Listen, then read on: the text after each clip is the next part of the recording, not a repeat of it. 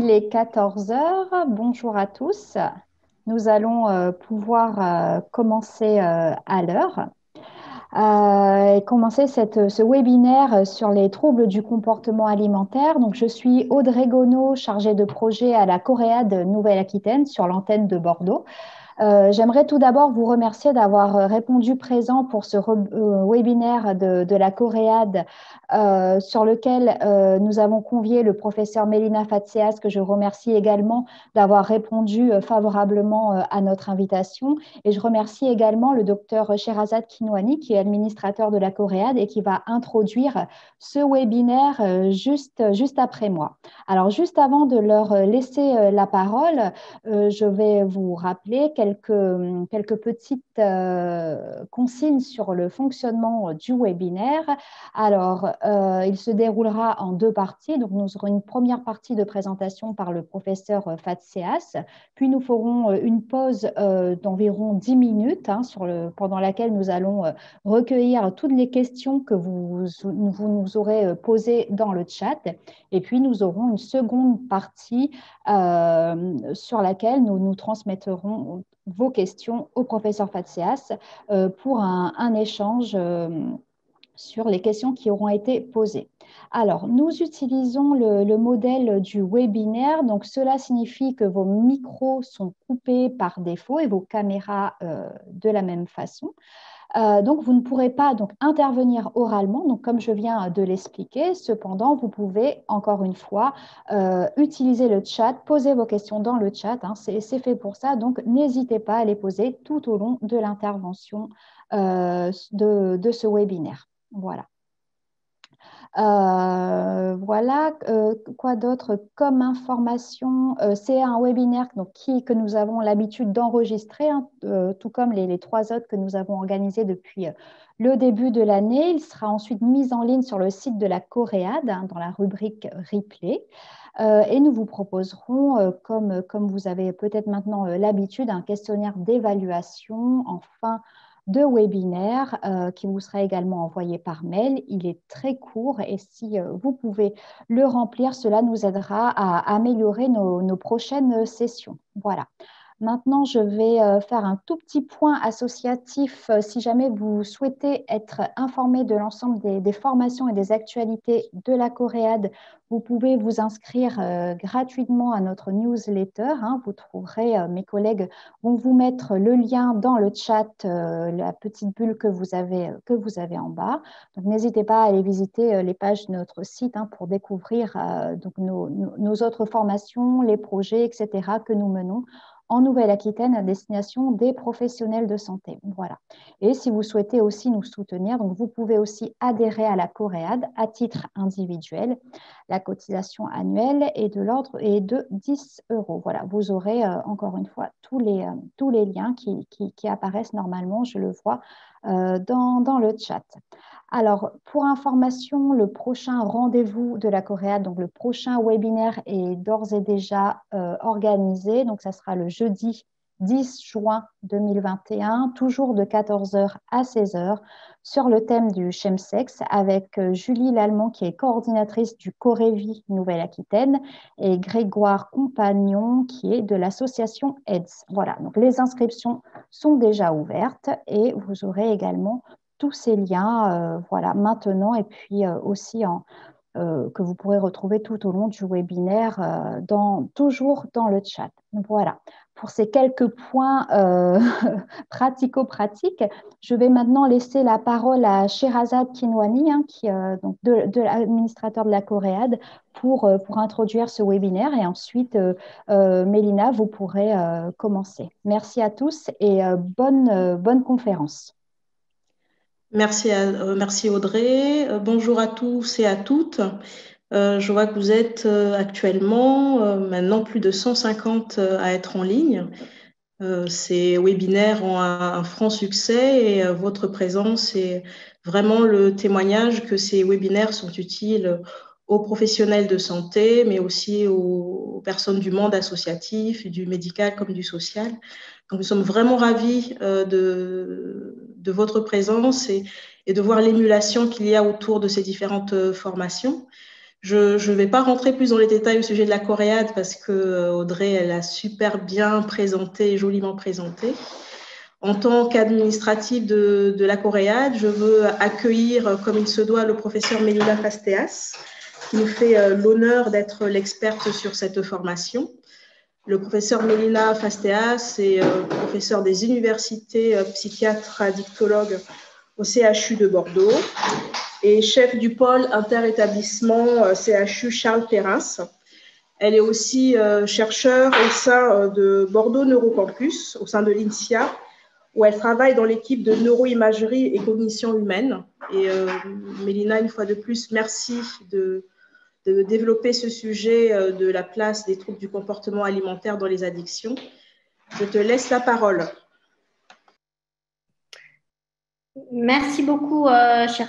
Et puis, euh, bonjour à tous. Euh, merci donc à la Coréade et puis aux organisateurs, à Audrey en particulier et à, et de m'avoir sollicité pour donc vous parler de la, place des troubles des conduites alimentaires dans le champ des, addictions. je vais euh, partager mon écran.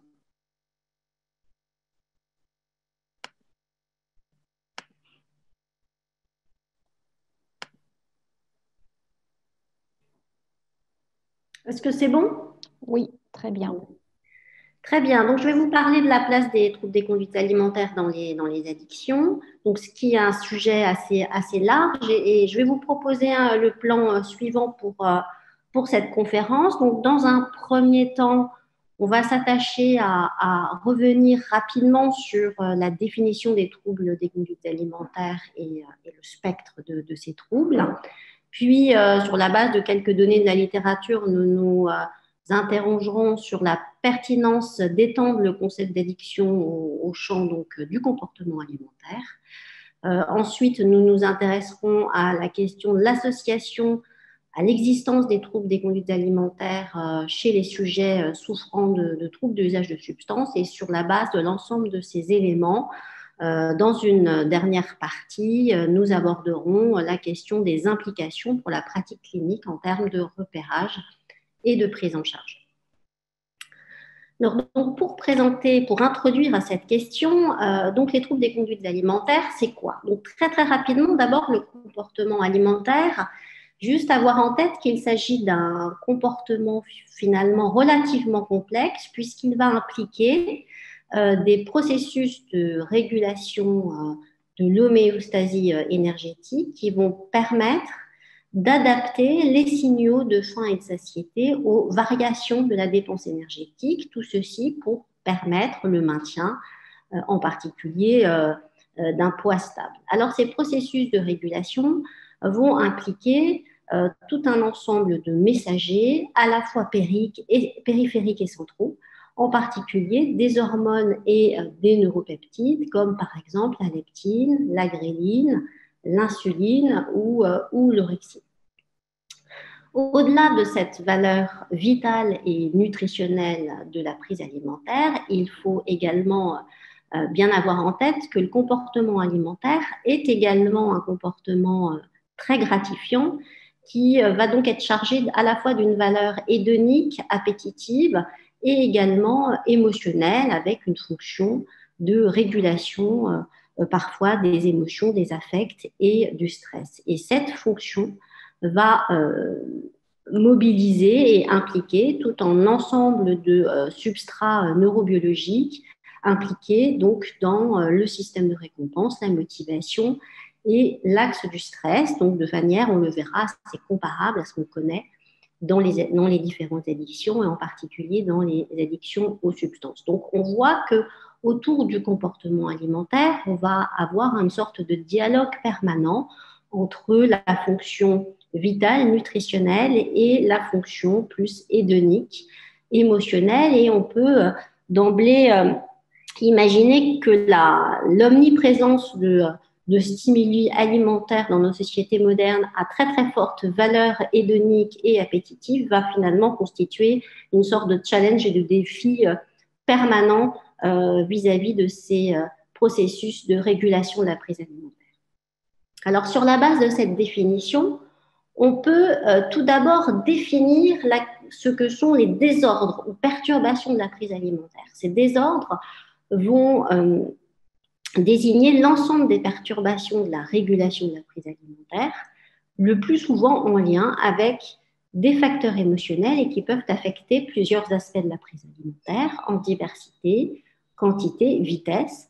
Ces perturbations peuvent s'associer ou pas hein, à une expérience de perte de contrôle et à une souffrance psychique. Donc il s'agit finalement d'un spectre très large euh, qui va aller de... Euh, euh, qui va couvrir à la fois les, comportements de, restriction ou de surconsommation avec parfois une, perte de contrôle et qui vont finalement s'envisager selon un, continuum assez large allant finalement du comportement normal au comportement pathologique jusqu'à la euh, constitution et au développement potentiel de véritables troubles des conduites alimentaires. Donc, les troubles des conduites alimentaires, eux, vont désigner des perturbations persistantes du comportement alimentaire qui vont entraîner un mode de consommation pathologique avec des conséquences sur la santé physique et sur le fonctionnement psychosocial à l'origine de souffrances euh, individuelles significatives. Les troubles du comportement alimentaire donc, euh, intègrent différents troubles allant à l'extrême de la, restriction pathologique à la surconsommation euh, pathologique avec l'hyperphagie boulimique et la boulimie nerveuse, répondant à des critères euh, très, très identifiés et en particulier les critères de la classification du DSM, du DSM-5. Lorsque ces euh, troubles du comportement alimentaire ne correspondent pas à, ne répondent pas à l'ensemble des critères du DSM-5, mais sont à l'origine d'une souffrance cliniquement significative, donc des formes plutôt partielles, on va utiliser le terme de troubles alimentaires non spécifiques. Alors, à côté de ces catégories diagnostiques, il y a euh, deux autres concepts et notions qui, qui euh, sont apparus comme potentiellement très importante, à la fois dans, les mécanismes et dans les aspects cliniques. D'une part, la, notion d'alimentation émotionnelle, qui euh, désigne un mode d'alimentation qui n'a pas comme motivation euh, première de euh, répondre à des signaux de faim ou de satiété, mais plutôt avec une fonction de régulation émotionnelle et de régulation donc, des affects négatifs. Donc, des données ont montré que cette alimentation, qu'on appelle alimentation de, réconfort, euh, est très fortement associée aux troubles des conduites alimentaires et pourrait constituer donc un facteur de risque d'évolution vers un trouble de comportement alimentaire et s'associe également à des indices psychopathologiques comme la dépression et également un risque plus important de prise de poids. Et puis, euh, de façon plus récente, le concept d'addiction alimentaire d'addiction à l'alimentation s'est euh, fortement développé ces dernières années avec comme euh, critères euh, centraux bah, la notion de craving à l'alimentation et la perte de contrôle, souvent associée d'ailleurs aux troubles des conduites alimentaires, anorexie, boulimie, hyperphagie, mais pouvant également exister indépendamment de ces troubles. Et c'est une notion que nous allons donc, tout au long de cette conférence, un petit peu plus développer. Alors, si on il est important de définir ce que sont les troubles du comportement alimentaire. Il est aussi important de rappeler ce qu'ils ne sont pas.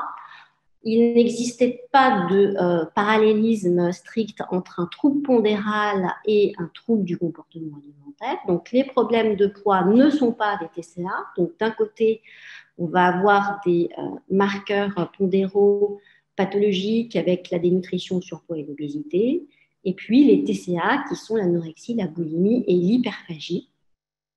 Des troubles pondérants peuvent exister indépendamment euh, de l'existence d'un trouble des conduites alimentaires. Et euh, pour exemple, euh, quand on s'intéresse à l'ensemble des sujets qui souffrent d'obésité, on voit qu'une partie d'entre eux, mais une partie seulement, vont répondre aux critères d'hyperphagie boulimique ou de binge eating disorder. Donc, vous voyez, par exemple, les études montrent qu'environ 30 à 50 des sujets obèses présenteraient des critères d'hyperphagie boulimique, hein, ce qui est une prévalence extrêmement importante. Mais l'obésité en tant que telle n'est pas un trouble des combinaisons. De façon un petit peu synthétique, euh, je vous propose maintenant de reprendre les critères finalement des classifications des différents, des principaux troubles du comportement alimentaire. Donc, à commencer par l'anorexie euh, mentale, qui donc désigne une restriction euh, volontaire de la prise alimentaire, qui est sous-tendue par une peur intense et phobique de euh, prendre du poids et qui va s'associer à une perte de poids ou euh, à un IMC bas. Donc cette euh, restriction volontaire va s'associer à, tout un ensemble de comportements qui visent à la déperdition énergétique, en particulier l'hyperactivité physique, afin de maintenir un poids le plus bas possible et euh, d'éviter euh, la reprise pondérale. Il existe des formes d'anorexie mentale restrictive pure et également des formes dites purgatives qui vont euh, s'associer à des comportements compensatoires, autres que l'hyperactivité physique pour éviter la prise de poids avec en particulier des vomissements ou la prise de laxatifs euh, ou de diurétique.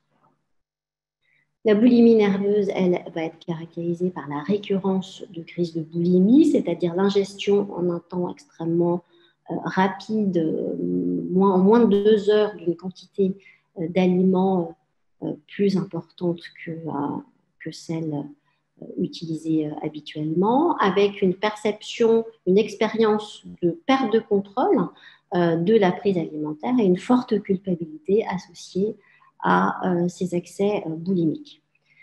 Ces accès boulimiques donc, peuvent s'associer à des comportements restrictifs afin de pouvoir contrôler la prise de poids ou d'autres comportements compensatoires comme les ou la prise encore de laxatifs et de diurétiques. L'anorexie mentale et la boulimie nerveuse sont des troubles qui sont fortement associés à des troubles de la perception de l'image du corps avec euh, l'existence souvent de dysmorphophobie focalisée sur euh, certaines parties du corps et sont caractérisées par une estime de soi qui est fortement influencée par euh, l'apparence corporelle et par le poids, donc avec des préoccupations envahissantes, obsédantes sur le contrôle ces troubles de la perception de l'image du corps ne vont pas être retrouvés euh, à l'inverse dans l'hyperphagie boulimie, qui euh, donc est une nouvelle entité identifiée dans le DSM-5, qui se caractérise par la récurrence d'accès d'hyperphagie boulimie, avec au moins euh, trois des critères suivants, comme vous pouvez le voir. Manger plus rapidement que la normale, manger jusqu'à sensation pénible de distension abdominale, manger de grandes quantités de nourriture en l'absence de sensation physique de faim manger seul, euh, par gêne de, manger devant les autres, se sentir dégoûté de soi-même, déprimé ou très coupable, avec à chaque, fois une expérience marquée donc de perte de contrôle de la prise alimentaire. Ces accès hyperphagiques sont associés à une souffrance psychique importante et à une prise de poids, car contrairement euh, à la boulimie nerveuse, on ne va pas retrouver de comportements compensatoires. Et donc, ces patients sont souvent pris en charge plutôt euh, soit en médecine générale, soit par des euh, diététiciennes ou des nutritionnistes en lien avec euh, les problèmes de poids.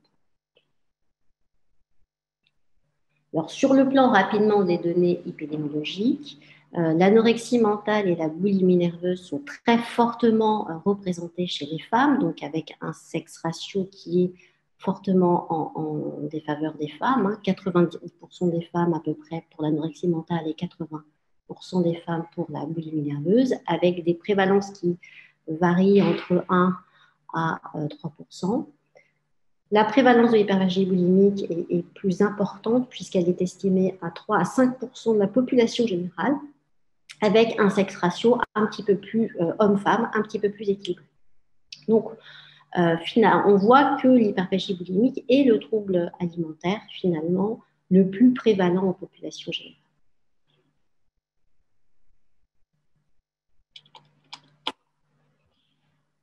Pour finir un petit peu cette présentation, euh, euh, les troubles des conduites alimentaires sont euh, caractérisés par une forte morbimortalité associée et en particulier une surreprésentation des complications à la fois somatiques, en particulier nutritionnelles et psychiatriques. ces complications très importantes sont particulièrement représentées dans l'anorexie mentale, où on voit une surmortalité liée à la dénutrition et au suicide avec une mortalité à 10 ans pour l'anorexie mentale qui est estimée à 10%, hein, ce qui est une, prévalence qui est extrêmement importante. Les complications donc, sont essentiellement euh, représentées par les complications de la dénutrition et ou de la surcharge pondérale hein, et de l'obésité, les complications des conduites de purge, en particulier toutes les complications hydroélectrolytiques les euh, complications cardiaques, complications psychiatriques qui sont très fortement associées, anxiété, dépression, suicide, comme on vient de le voir, et euh, des complications et un impact extrêmement important euh, au niveau de l'insertion sociale et également beaucoup de complications sur le plan, familial. Pour illustrer euh, ces complications, en particulier, vous voyez ici pour l'anorexie mentale, hein, ce qui illustre cet excès extrêmement important de, de morbi-mortalité. Euh, la mortalité dans l'anorexie mentale est 5,2 fois euh, supérieure à ce qu'on observe euh, en population générale pour une population du même, âge. Il s'agit de la pathologie psychiatrique qui a le taux de mortalité le plus élevé avec un risque suicidaire qui va être extrêmement plus élevé qu'en population générale puisqu'on a un risque qui est multiplié par 20. Donc vous voyez ici principales causes de complications qui sont qui sont schématisés sur cette diapositive. On a vu dénutrition, complications somatiques et euh, suicide.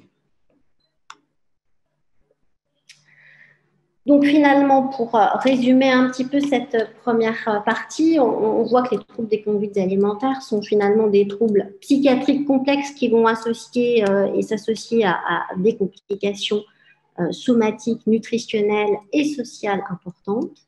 Et euh, donc, il existe depuis plusieurs années euh, un débat sur euh, finalement la pertinence de considérer les troubles des conduites alimentaires comme des véritables addictions à part entière sur la base de nombreuses similitudes à la fois sur le plan clinique, comportemental et neurobiologique. Et donc, je vous propose maintenant d'essayer de, nous interroger sur finalement la pertinence euh, d'appliquer et d'étendre le concept d'addiction au champ euh, du comportement alimentaire en euh, essayant finalement de regarder quelles sont ces similitudes ou éventuellement les différences entre les troubles des conduites alimentaires et d'autres formes d'addiction en s'intéressant particulièrement donc par exemple aux, addictions aux, substances.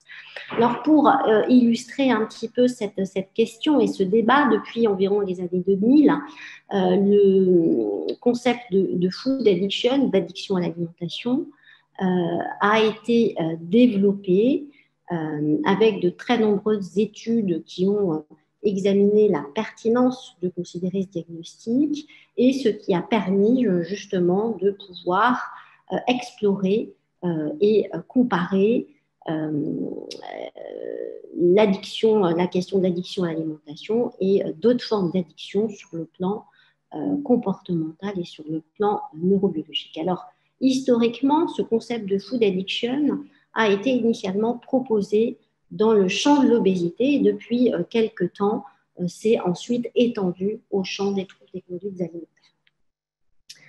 Alors, le concept d'addiction à l'alimentation, comme je, viens de vous le dire, a été initialement, euh, finalement, euh, développé sur, à la fois sur la base de données, euh, de données animales et de données de la recherche clinique chez l'homme, qui ont pu montrer l'existence de similitudes entre les aliments euh, palatables, hein, c'est-à-dire les aliments à très forte valeur calorique, gras, sucré et à faible valeur nutritionnelle, et euh, les substances addictives. De nombreuses études ont en effet montré la capacité de ces aliments palatables à activer de manière euh, très intense les circuits de la récompense et les circuits en particulier dopaminergiques de manière totalement comparable à ce qu'on connaît dans les addictions aux substances. Donc, sur la base de ces données et euh, de ces euh, résultats de, nombreuses études, finalement, l'hypothèse a été formulée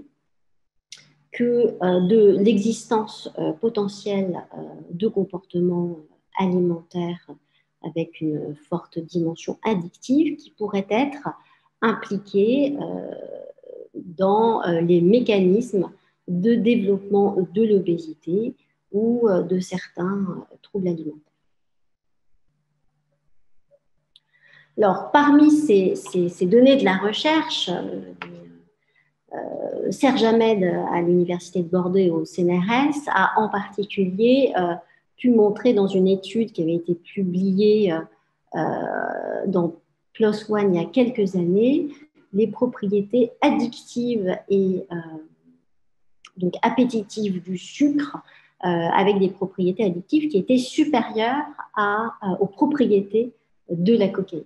dans cette euh, étude et dans ces travaux qui sont devenus très célèbres, les rats avaient la possibilité de s'auto-injecter en appuyant sur un levier, soit des solutions de, sucre, soit de s'injecter de la cocaïne. Et les résultats de ces travaux montraient que la majorité des rats euh, présentaient une préférence marquée pour la solution euh, sucrée, même euh, lorsque on augmentait de manière maximale l'exposition à l'auto-administration de la cocaïne, ce qui soulignait les propriétés addictives très très fortes du sucre. Alors, par la suite, il y a eu de, très nombreux modèles animaux qui ont été développés dans le champ de la prise alimentaire chez l'animal et qui ont pu identifier des marqueurs comportementaux euh, d'escalade de dose, de perte de contrôle ou de phénomènes de sevrage et de façon totalement comparable à ce qui euh, avait déjà été trouvé et démontré dans les addictions aux substances. Alors, sur la base de ces différentes données et également à la suite de, très nombreuses données aussi qui ont été faites chez l'homme avec euh, la, neuroimagerie. Euh, dans les années 2000, vous voyez, euh, Nora Volkov, la présidente de NIDA, et, Chuck O'Brien ont fait l'hypothèse de la dimension addictive de l'obésité en soulignant effectivement que l'exposition répétée de plus en plus importante à des aliments très palatables à, forte, euh, à fort potentiel addictif, à forte charge hédonique, avait finalement la capacité d'entraîner des perturbations durables sur le plan neurobiologique, de perturber de manière euh, très euh, importante tous les mécanismes et les processus de régulation d'homéostasie énergétique, et finalement de détourner le comportement alimentaire de sa valeur de régulation énergétique et de sa valeur nutritionnelle euh, pour euh, développer des motivations euh, beaucoup plus en lien avec la, valeur hédonique, appétitive ou de régulation émotionnelle de, la prise alimentaire et donc avec le développement de perte de contrôle et de caractéristiques comportementales comparables à ce qu'on connaissait dans les addictions aux substances. Alors, sur ce, cette diapositive, euh, on va, euh, cette diapositive schématise finalement les effets de ces, aliments palatables sur euh, les réseaux cérébraux de, la récompense. Et on voit le parallèle donc avec la consommation de substances. Les substances addictives, comme on le voit ici, ont la propriété d'activer de manière directe le système dopaminergique et le cortex préfrontal euh, ce qui va euh, générer la perte de contrôle du comportement, le craving les caractéristiques du comportement addictif. On voit que pour les aliments palatables, ceux-ci vont dans un premier temps activer les messagers euh, centraux et périphériques qui sont impliqués dans la régulation de l'homéostasie énergétique. Puis, ceux-ci vont activer soit directement, soit indirectement le circuit dopaminergique et euh, le système de, contrôle euh, inhibiteur du comportement et le cortex préfrontal. Donc, on va avoir une activation de ces systèmes qui va se faire de façon plus indirecte, mais avec des similitudes sur le plan neurobiologique qui sont extrêmement euh, frappantes.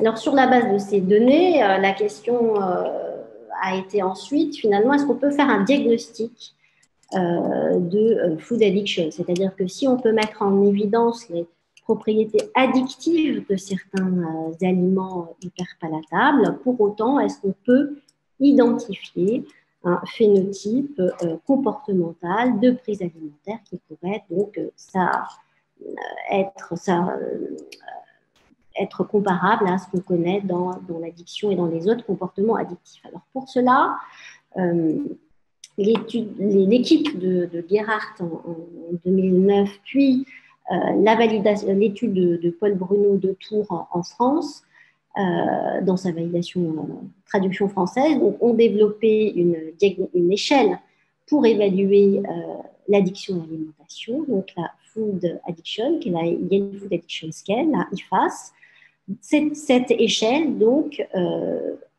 utilisait les critères d'addiction aux substances pour les appliquer à l'alimentation. Donc, cette échelle a été euh, validée euh, dans sa version initiale par l'étude de Gerhardt, puis validée en français par l'équipe de Paul Bruno et Nicolas Ballon, et en montré, donc, cette échelle a montré de très bonne qualité psychométrique. Donc, on va retrouver dans cette échelle d'addiction les critères euh, initiaux d'élection aux substances tels qu'on les connaissait dans le DSM-4, avec en particulier le sevrage de la tolérance, mais euh, surtout les dimensions de perte de contrôle, de tentatives répétées infructueuses de réduire l'usage et la consommation, le temps passé, le maintien des consommations malgré les dommages, l'abandon des activités.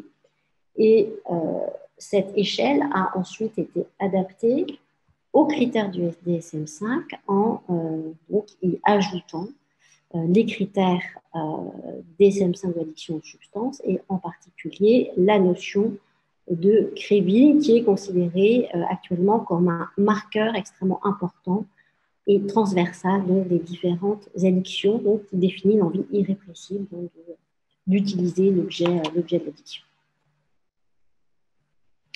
Donc, on retrouve dans euh, ces critères euh, DSM5 euh, d'addiction à l'alimentation les trois grandes dimensions, on va dire, de, comportement addictif, avec au centre la notion de, perte de contrôle, le craving à alimentation, les tentatives d'arrêt ou de diminution infructueuse, qui va s'associer à des consommations avec des quantités ou des fréquences qui vont être particulièrement importantes. Cette perte de contrôle va s'associer, va générer tout un ensemble de conséquences sur le plan social et euh, interpersonnel et donc va expliquer le maintien du comportement compulsif en dépit de l'accumulation d'image. Et enfin, troisième euh, grand groupe finalement de symptômes qui sont euh, les phénomènes de tolérance et les phénomènes de sevrage.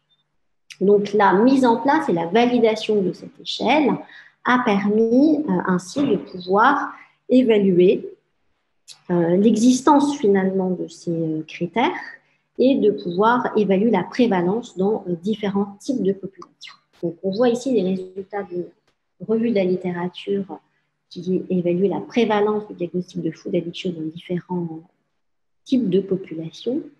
Et euh, donc, ces, différentes études retrouvaient des prévalences élevées chez les sujets en surpoids ou les sujets obèses, hein, comme on voit sur cette diapositive, avec des prévalences de 25%, mais des prévalences qui étaient encore plus importantes, donc, euh, chez euh, les sujets souffrant de troubles des conduites alimentaires, en particulier euh, la boulimie et l'hyperphagie clinique, avec, comme vous le voyez sur cette diapositive, des prévalences estimées à quasiment 60%.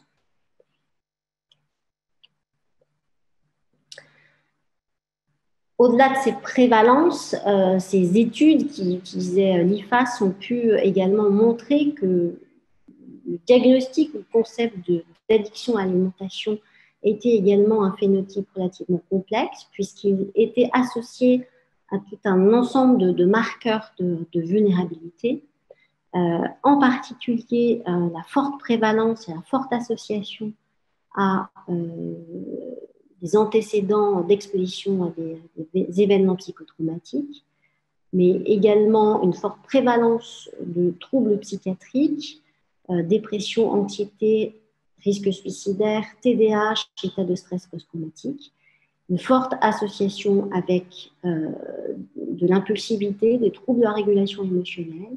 Et sur le plan du comportement alimentaire, le diagnostic d'addiction à l'alimentation était très associé au comportement euh, de binge, donc d'hyperphagie, au craving à l'alimentation, à l'alimentation émotionnelle et à l'utilisation préférentielle d'aliments donc euh, hautement palables.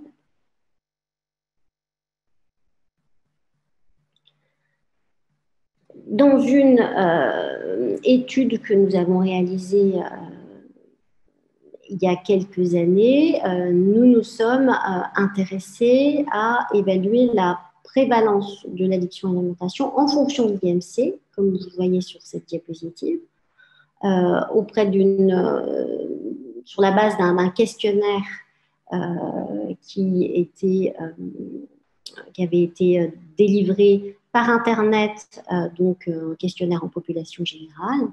Et dans cette étude, nous avons cherché à évaluer la prévalence de l'addiction à l'alimentation en considérant trois catégories de poids. Donc, euh, les sujets avec un poids normal, les sujets en surcharge pondérale et les sujets obèses. Donc, les résultats de cette étude montraient un, gradient marqué de la prévalence de la food addiction selon donc, la catégorie du MC, avec euh, des prévalences donc, qui étaient beaucoup plus importantes chez les sujets donc, euh, obèses, hein, puisqu'on était quasiment sur des prévalences autour de 30%. Et quand on s'intéressait à la représentation des euh, différents euh, critères diagnostiques de l'addiction à l'alimentation, on voit que les sujets obèses présentaient plus souvent des critères de perte de contrôle, d'incapacité à réguler euh, la prise alimentaire, d'impact sur les autres activités et de manifestation de sevrage avec un niveau de détresse qui était des détresses significatives qui étaient également euh, plus importants. Donc des marqueurs de, euh, de sévérité qui étaient finalement euh, particulièrement représentés chez les sujets obèses. Donc on voit clairement que le diagnostic d'addiction à l'alimentation, même s'il existe chez des sujets à poids va être beaucoup plus représenté chez les sujets obèses et donc effectivement l'obésité est un, marqueur également euh, associé donc à, l'addiction à l'alimentation.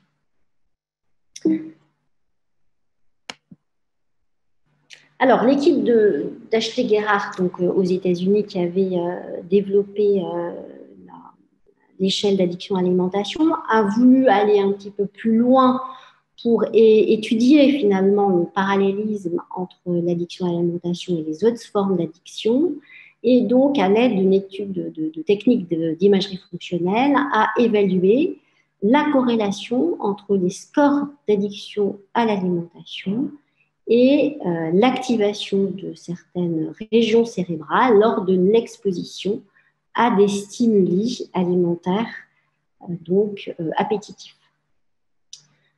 donc cette étude montrait une corrélation entre les scores euh, d'addiction à l'alimentation et l'activité euh, de certaines régions euh, du système de récompense, l'activation de certaines régions du système de récompense lorsque les sujets étaient exposés à des stimuli alimentaires appétitifs, donc hyper palatables,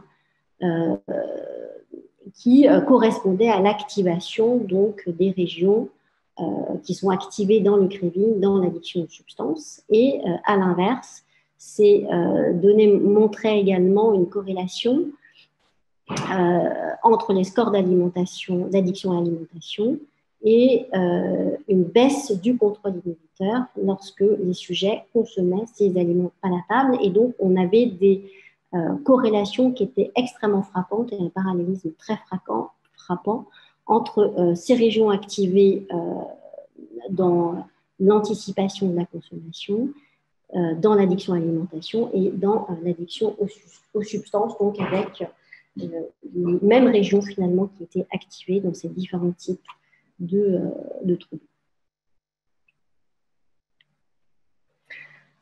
Alors, par la suite, donc, euh, maintenant, l'addiction à l'alimentation a également été évaluée chez les sujets souffrant de troubles des conduites alimentaires pour essayer d'évaluer justement la dimension addictive des différents troubles des conduites alimentaires. Donc, dans une étude menée par une équipe espagnole en 2014, euh, donc différents, euh, les patients souffrant de différents types euh, de troubles des conduites alimentaires ont été évalués à l'IFAS. Et cette étude donc montrait une prévalence élevée des troubles des conduites alimentaires, de, l'addiction à l'alimentation dans les différents types de TCA, avec, vous le voyez, 50% de diagnostic d'addiction à l'alimentation dans l'anorexie mentale respective, 85,7% dans l'anorexie mentale purgative, 81% dans la boulimie nerveuse et 76% dans euh, l'hyperphagie euh, boulimique. Donc, un diagnostic d'addiction à l'alimentation qui était finalement euh, très largement représenté dans les différents types de troubles des conduites alimentaires. Alors, si l'on s'intéresse maintenant de manière un petit peu plus précise sur les différents euh, types de TCA et les, critères finalement qui ressortaient. Vous voyez euh, ici euh, une étude d'Adriane Meul qui donc une équipe allemande qui avait évalué le diagnostic d'alimentation chez les patients souffrant de boulimie et chez les patientes en rémission de boulimie en comparaison avec les sujets contrôle. Ces résultats montraient que toutes les patientes souffrant de boulimie répondaient aux critères d'addiction à l'alimentation et que euh, cette prévalence diminuait chez les sujets en, rémission, puisque euh, parmi les patients qui étaient en rémission pour la nerveuse, seuls 30% répondaient aux critères euh, d'addiction à l'alimentation et zéro dans le groupe contrôle.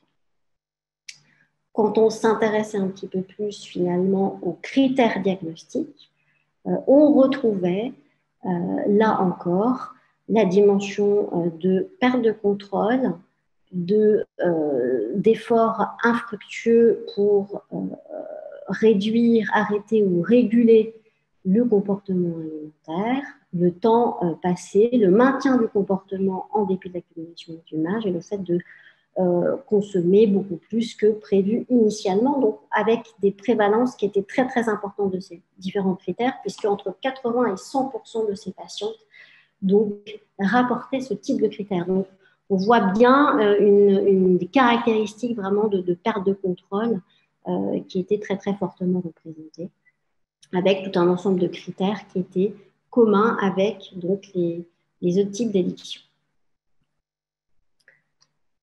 Alors, concernant euh, finalement l'anorexie, on peut retrouver des critères et des caractéristiques communes concernant la perte de contrôle du comportement, centré plutôt sur la perte de contrôle de la restriction alimentaire avec un envahissement psychique centré sur, euh, sur l'alimentation et les stimuli alimentaires, la notion d'escalade de comportement, la poursuite malgré les dommages, et euh, le fait que la restriction comportementale est également très fortement influencée par des déclencheurs émotionnels, donc avec une fonction, là encore, de régulation, de contrôle émotionnel. Donc, selon ce modèle, on pourrait faire l'hypothèse que euh, euh, dans l'anorexie, c'est le comportement de restriction qui aurait une valeur finalement renforçante et gratifiante, avec le développement au fur et à mesure du développement du trouble, donc le, le développement d'une perte de contrôle de cette restriction et l'utilisation de la restriction alimentaire dans une volonté de finalement soulager les affects négatifs.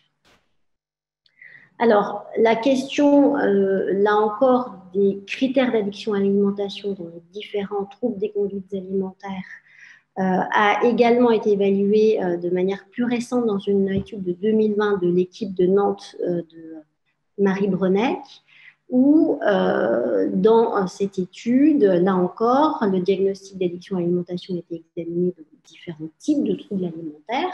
On retrouvait dans cette étude une prévalence importante d'addiction à l'alimentation, euh, comme vous le voyez euh, ici, 80% pour l'anorexie mentale restrictive pure, 61% pour la forme purgative, 88% pour la boulimie nerveuse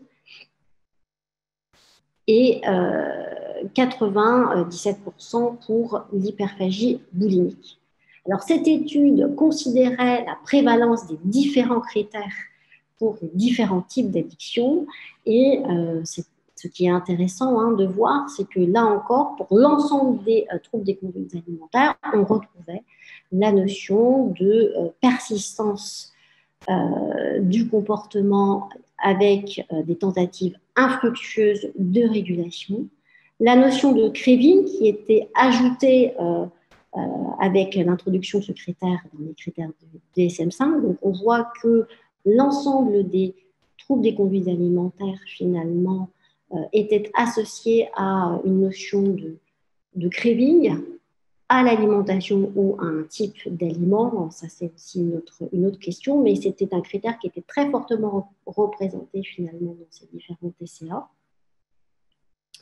et également l'existence d'un handicap et d'une détresse cliniquement significative entre 80 et 97% euh, finalement des critères. Donc des caractéristiques cliniques euh, centrales dans le comportement addictif qui étaient finalement retrouvées, que ce soit l'anorexie, la boulimie ou l'hyperphagie boulimique. Donc on voit que ces différents éléments vont quand même dans le sens d'une dimension très addictive, donc des troubles des conduites alimentaires dans leur ensemble. Alors, sur le plan euh, du substrat finalement euh, neurobiologique, euh, il est intéressant de pouvoir évaluer si finalement on va retrouver là encore l'activation et l'implication de certaines régions du cerveau, en particulier des systèmes de récompense dans ces différents troubles alimentaires. Cette question, elle a été examinée en particulier dans l'anorexie, euh, où, euh, par exemple, dans cette étude, euh, des patientes qui étaient en rémission de leur anorexie mentale étaient exposées à des stimuli alimentaires appétitifs et aversifs et euh, à l'aide de techniques d'imagerie fonctionnelle, on évaluait l'activation de certaines régions lors de l'exposition à des stimuli comparativement à des sujets neutres. Donc, ce qui était intéressant dans cette étude, c'était que chez ces patients qui étaient en rémission, on retrouvait une activation du système de récompense euh, suite à l'exposition aux stimuli alimentaires, mais quelle que soit leur valence, c'est-à-dire à la fois pour les stimuli appétitifs que euh, pour les stimuli plus euh, aversifs, mais ce qui euh, montrait la valeur motivationnelle donc très forte chez ces patients qui étaient en rémission, donc pour les différents stimuli alimentaires avec une activation donc, des systèmes de récompense. Une autre étude a examiné finalement plutôt l'hypothèse d'une addiction à à la dénutrition ou à la maigreur en exposant des patients souffrant d'anorexie mentale, comparativement à des contrôles, à des images de silhouettes euh, à poids normal, soit des silhouettes maigres ou, euh, des silhouettes en euh, surcharge pondérale.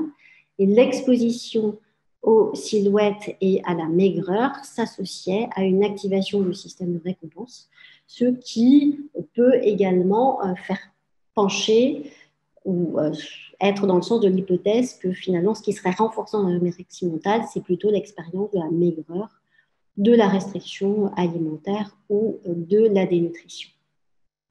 Donc, en tout cas, on voit que même dans des comportements finalement de restriction, on va retrouver système de, les systèmes de récompense qui vont être activés avec finalement une activation de réseau qui peut être totalement comparable à ce qu'on retrouve dans, euh, les différentes addictions.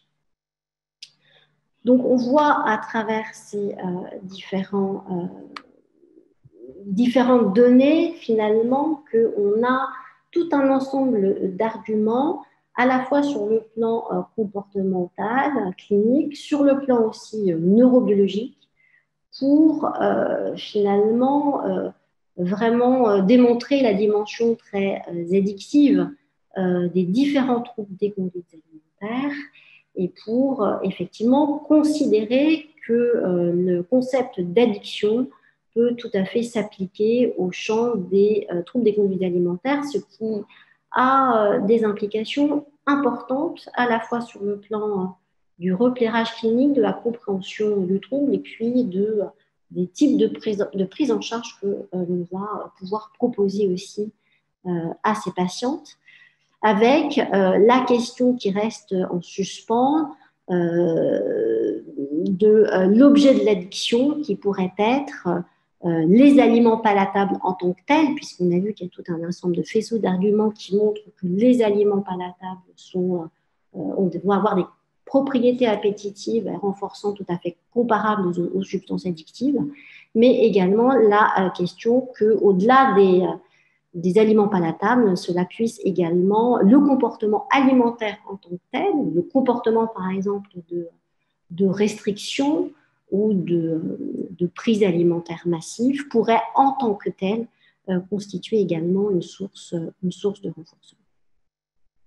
Alors comme nous avons vu effectivement euh, les similitudes entre addiction et TCA, il paraît euh, également légitime de s'intéresser euh, à la question des troubles des conduites alimentaires chez les sujets euh, souffrant de troubles de l'usage de substances et euh, de s'interroger à la fois sur la prévalence de cette association, mais également sur les implications sur, le plan, sur le plan clinique.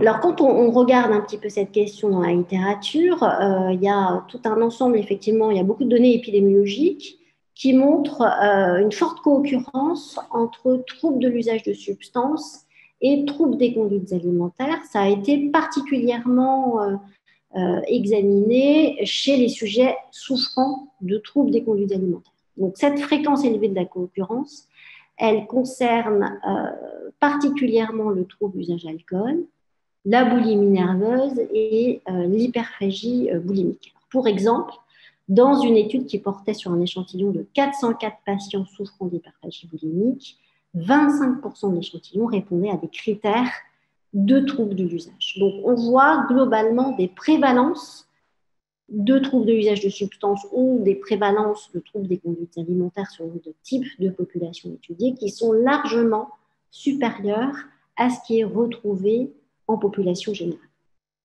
Donc, on retrouve également, donc, comme je viens de vous le dire, des prévalences élevées chez les sujets qui souffrent de troubles d'usage de substances.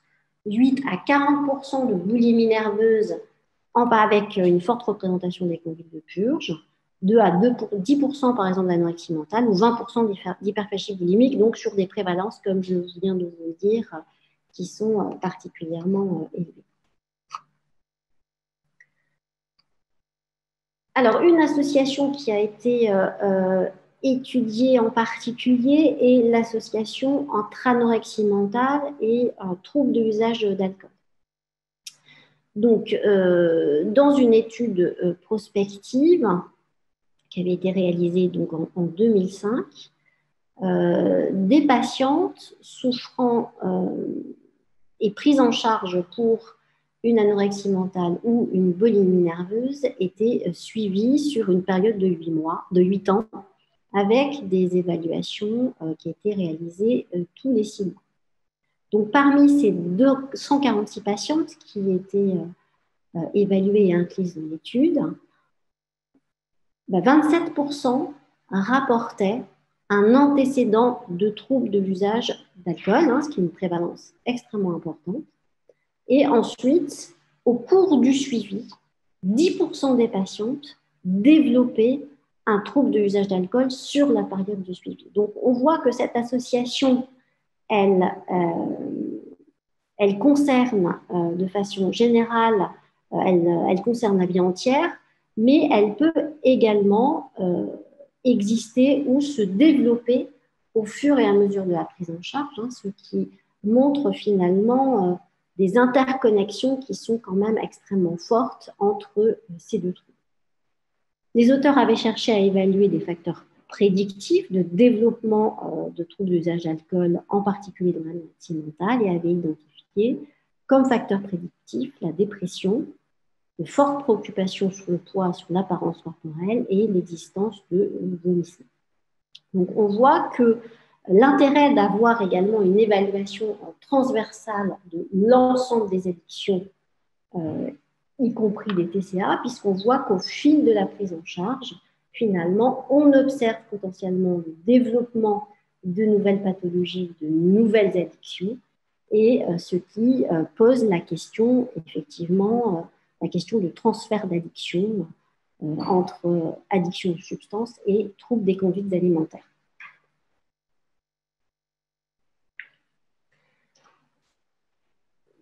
L'association entre hyperphagie, boulimie et euh, trouble d'usage de substances a également été euh, évaluée euh, chez des sujets qui souffraient d'hyperphagie boulimique. Donc, dans cette étude, 347 sujets avaient été évalués et les résultats montraient là encore une représentation très importante du trouble d'usage de substances et des troubles de l'humeur. On voit sur cette diapositive que 37% des patients présentaient un trouble de l'humeur, 10% présentaient un trouble de l'usage de substances et 17% un trouble de l'usage de substances plus un trouble de l'humeur. C'est-à-dire que sur euh, l'ensemble de l'échantillon, on voit que quasiment un tiers des patients répondaient à des critères de trouble de l'usage euh, de substances avec, euh, pour une forte partie d'entre eux, finalement, un trouble psychiatrique, en particulier un trouble de l'humeur associé. Cette association était également euh, associée à euh, des troubles de la personnalité plus fréquents. Donc finalement, ces données euh, vont dans le sens d'une très très forte association qui est supérieure à ce qu'on retrouve en population générale. Ça, ça va plutôt effectivement dans le sens d'un socle de vulnérabilité commun et finalement de, de, liens forts entre TCA et addiction, mais on voit aussi que cette association, bah, elle s'associe à des comorbidités psychiatriques plus importantes. Donc, on voit que cette association, euh, finalement, va également avoir des incidences sur les soins, puisque ça va s'associer à des profils de sévérité plus élevés, plus d'impulsivité, plus de dysrégulation émotionnelle, plus de mortalité et euh, plus de psychopathologie, de façon générale. Donc, un sujet qui a un trouble de usage de substances et un trouble alimentaire, finalement, euh, est un sujet qui va euh, être à risque, finalement, plus important concernant la mortalité. Ces associations posent également finalement la question est-ce qu'on est dans le cadre de pathologie duelle ou est-ce qu'on est plutôt dans le cadre d'une même maladie, c'est-à-dire qu'on est vraiment dans une comorbidité addictive entre TCA et addiction, cette association étant elle-même associée finalement à un trouble psychiatrique, ce qui font finalement euh, de, ces, euh, de, ces, finalement, de ces tableaux cliniques euh, des tableaux plutôt, plutôt complexes avec un, profil de sévérité qui sera plus important et qui nécessite vraiment une prise en charge globale de l'ensemble de ces, de ces dimensions.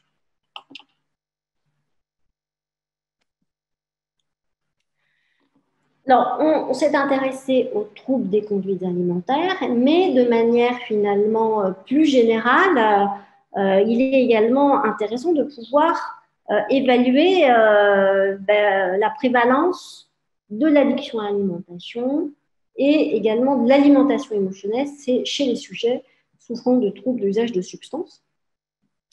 Euh, puisque euh, bah, l'addiction à l'alimentation, on le voit, être fortement associée au TCA. L'alimentation émotionnelle pourrait également être un facteur de risque pour l'addiction à l'alimentation ou pour les autres formes de, TCA. Il y a de nombreuses observations hein, qui euh, ont montré que les sujets qui étaient pris en charge pour un trouble de l'usage de substances présentaient une appétence marquée pour les aliments palatables euh, avec en particulier une fréquence importante de compulsions alimentaires, hein, parfois associée à une expérience vraiment de perte de contrôle. Ces euh, éléments, ces troubles finalement de la prise alimentaire ont été euh, décrits dans les différents types d'édiction de substances, en particulier pour le tabac, les OPC, l'alcool ou les stimulants. Ces compulsions alimentaires semblent s'associer à une expérience de perte de contrôle, une hyperphagie et à des problèmes de poids qui constituent une, source de préoccupation souvent importante, voire une, à l'origine, sont à l'origine d'une certaine détresse pour, pour les patients. Pour exemple, une étude euh, avait porté euh, sur euh, des sujets qui étaient pris en charge pour un trouble d'usage opiacé. Et parmi ces sujets, 33% rapporté une expérience de perte de contrôle de la prise alimentaire. Cette expérience s'associait à plus de psychopathologie et à des problèmes de poids de type surpoids ou obésité.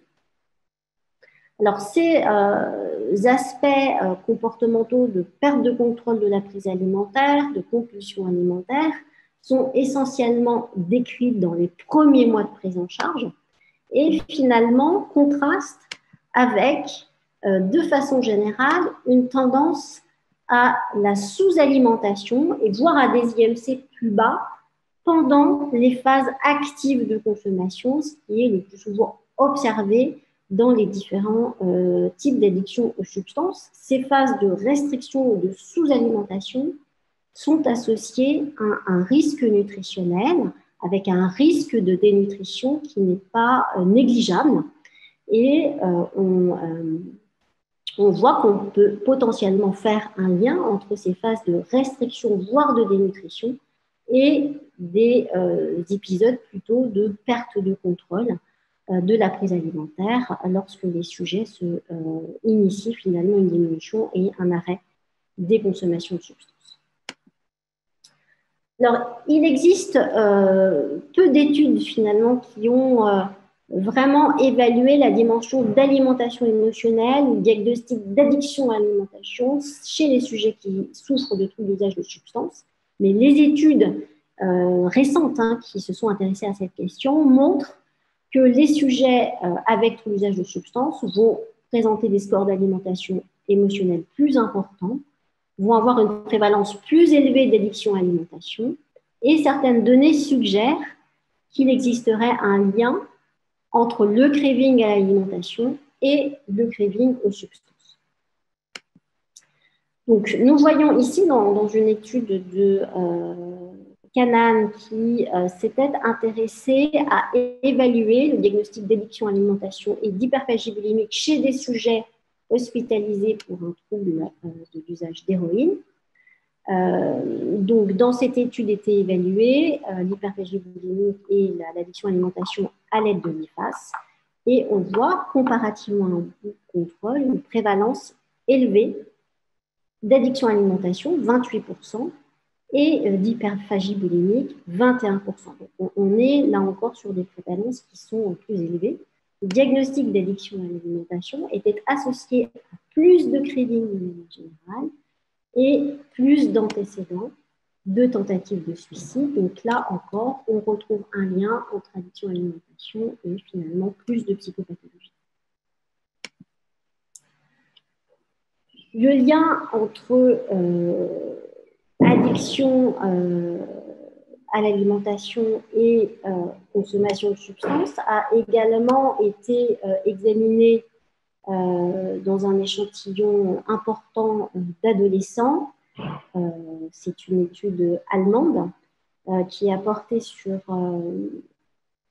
une, une, cohorte de, de jeunes patients âgés de 14 à 21 ans où étaient évalués euh, le diagnostic d'addiction à l'alimentation. Donc, on voit que 2,6% de la cohorte répondait à ces critères et que le diagnostic était associé à euh, une consommation d'alcool, de cannabis, euh, de tabac et de sucre qui étaient plus importants que ceux qui ne répondaient pas aux, critères d'addiction à l'alimentation. Et donc, on voit hein, là encore des, des, relations entre consommation de substances et addiction à l'alimentation. Donc ces euh, différentes euh, associations, finalement, euh, vont effectivement dans le sens de, pourraient s'expliquer par l'existence d'un socle de vulnérabilité commun, addiction et troubles des conduites alimentaires. à la fois sur le plan neurobiologique, on a vu avec l'implication des systèmes de récompense, les systèmes de motivation, de régulation émotionnelle, l'axe du stress, les euh, facteurs euh, environnementaux, socioculturels, euh, les facteurs neuropsychologiques, émotionnels, psychopathologiques et les troubles psychiatriques associés, avec, en plus de ce socle de vulnérabilité commun, finalement, une expression clinique qui présenterait de nombreuses similitudes et qui, effectivement, vont plutôt dans, dans le sens, finalement, d'une euh, composante, en tout cas addictive, commune à ces différents troubles. Et donc, l'idée finalement que les troubles des conduites alimentaires, au moins certains troubles des conduites alimentaires, pourraient être euh, considérés euh, comme de véritables addictions. Le lien entre craving à l'alimentation et craving aux substances pose également la question de du transfert d'addiction euh, avec euh, l'idée que euh, les sujets qui effectivement présentent une addiction aux substances et qui tenteraient de réguler leur comportement de consommation pourraient switcher vers une autre forme d'addiction avec en particulier la consommation d'aliments palatables pour tenter de euh, soulager euh, le, euh, le craving aux substances. Et ainsi, le craving aux substances pourrait être un peu un marqueur de, switch vers d'autres comportements, d'autres consommations de substances, et en y incluant donc le comportement alimentaire.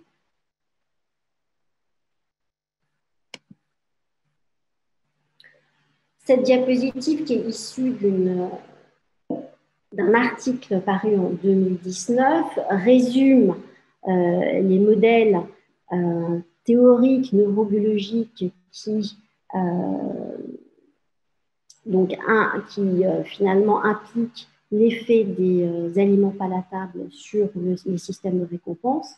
On voit que l'exposition là sur cette diapositive aux aliments palatables va interagir et sur euh, la motivation euh, à la prise alimentaire, sur l'axe du stress et sur les facteurs métaboliques qui vont avoir ensuite un effet sur les systèmes de récompense, de régulation euh, l'homéostasie énergétique et sur le contrôle cognitif qui vont ensuite renforcer la motivation à la consommation d'aliments palatables et avoir un impact sur euh, la prise de poids et entraîner des modifications structurelles, neuroanatomiques, fonctionnelles de l'ensemble de ces euh, circuits avec le rôle des euh, différences interindividuelles et des vulnérabilités sur l'effet de ces aliments palatables sur les différents circuits.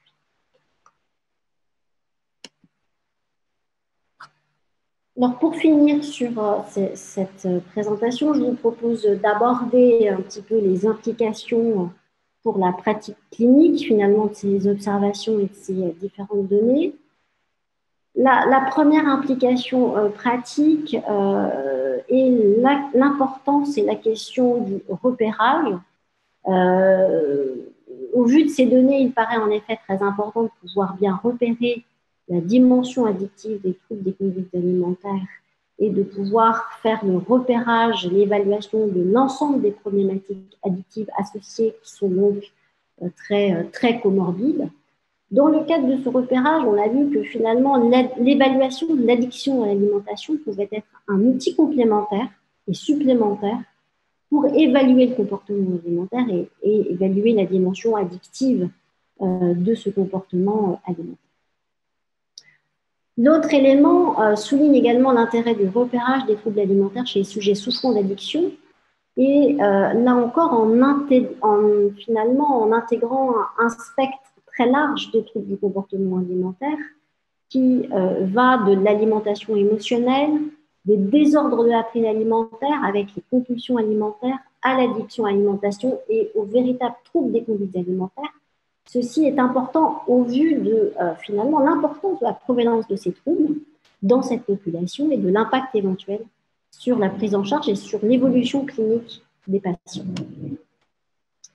Le repérage des troubles alimentaires est particulièrement important dans l'addiction de substances pendant les premiers mois de prise en charge, puisqu'on voit que finalement les, les troubles vont apparaître à ce moment-là avec la nécessité de euh, pouvoir euh, mettre en place une surveillance nutritionnelle et des indices anthropométriques avec une surveillance régulière du poids et de l'IMC. La fréquence de ces troubles alimentaires nécessite de pouvoir intégrer dans la prise en charge une évaluation finalement approfondie du comportement alimentaire avec une place qui va être particulièrement importante de l'évaluation du craving à l'alimentation et du craving aux substances, puisqu'on a vu que ces deux aspects étaient très souvent euh, associés. Alors, quelques signes d'appel qui pourraient euh, euh, finalement attirer particulièrement notre intention sur l'existence de certains troubles alimentaires. Donc, bien sûr, il y a la notion d'IMC, et euh, donc, ce qui euh, souligne l'importance de pouvoir, en début de prise en charge et puis tout au long du suivi, faire une surveillance régulière finalement de l'évolution du PMC ou d'autres indices euh, anthropométriques. L'existence également dans l'histoire du patient de fluctuations pondérales, avec un yo-yo pondéral, des périodes de restriction alimentaire ou des périodes d'hyperphagie, de perte de contrôle, des régimes à répétition, des patients qui ont euh, des rythmes de repas euh, anarchiques, qui vont avoir des, représentations alimentaires erronées ou euh, rigides, des préférences alimentaires marquées pour les aliments palatables gras sucrés, gras des éléments également en lien avec le contrôle de la prise alimentaire, par exemple, des rituels, une impulsivité. Et puis, également, un autre élément qui doit nous alerter, c'est la difficulté d'identifier les signaux internes de faim et de satiété, ce qui est euh, souvent euh, retrouvé hein, dans les troubles alimentaires, également dans l'addiction à l'alimentation, les difficultés à réguler les émotions et euh, concernant le trouble d'usage de substances, un craving d'intensité élevée qui peut également nous faire suspecter des compensations éventuelles sur l'alimentation. Sur le plan, euh, là encore, des implications pratiques et du repérage, cela souligne l'importance de pouvoir repérer euh, chez les patients souffrant de l'usage de substances et ou de troubles des alimentaires euh, les épisodes de craving et de pouvoir l'évaluer de façon régulière, à la fois initiale et tout au long du suivi, à l'aide, par exemple, d'une échelle analogique visuelle qui va permettre euh, d'identifier euh, l'intensité sur une échelle de 0 à 10 euh, de l'envie de consommer, de pas d'envie du tout à une envie extrême. Donc ça, c'est un outil qui est très facile à implémenter dans le cadre de l'entretien clinique et qui va avoir l'intérêt d'être facilement reproduit tout au long du suivi pour bien évaluer l'évolution de l'intensité de ces épisodes. Le repérage de craving, c'est également d'éduquer le patient à repérer euh, ces épisodes à l'aide de carnets d'auto-observation et de pouvoir mesurer les fluctuations temporelles euh, au cours d'une journée. Alors, concernant la prise en charge des troubles des conduites alimentaires, les objectifs euh, vont se centrer sur la rééducation nutritionnelle et la reprise d'une alimentation régulière de euh, travailler sur les attitudes et les pensées dysfonctionnelles liées aux troubles alimentaires, d'améliorer les relations sociales professionnelles et de euh, traiter les comorbidités. Le plan de soins, euh, de façon générale, va être un soin pluridisciplinaire avec une prise en charge ambulatoire en première intention, sauf urgence, et une proposition de prise en charge qui va être graduée en intensité selon les besoins. On va retrouver les mêmes principes finalement que dans les différentes addictions. Une hospitalisation sera programmée en cas de risque vital, qu'il soit de nature somatique ou psychiatrique, et avec euh, une orientation vers une équipe spécialisée pour avis ou prise en charge si une telle équipe euh, existe.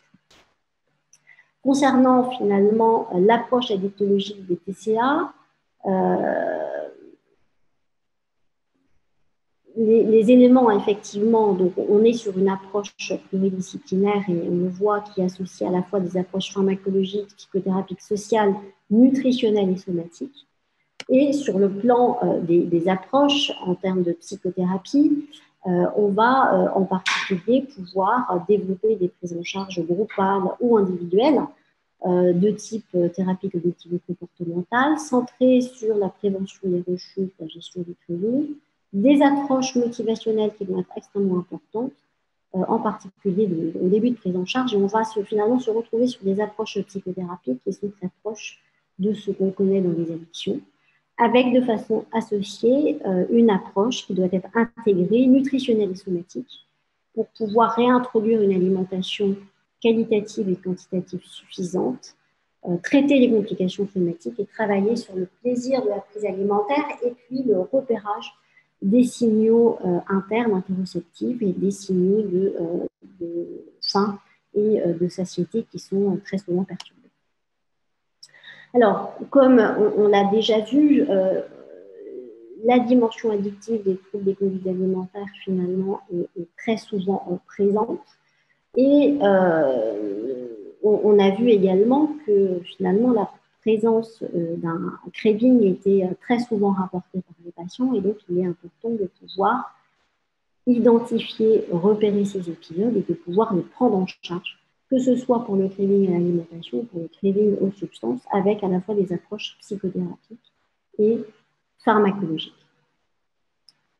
Sur le plan des traitements pharmacologiques, pour les addictions aux substances, ben, on va utiliser les thérapeutiques habituelles pour les différentes addictions, euh, en particulier donc, les opiacés, le tabac et l'alcool.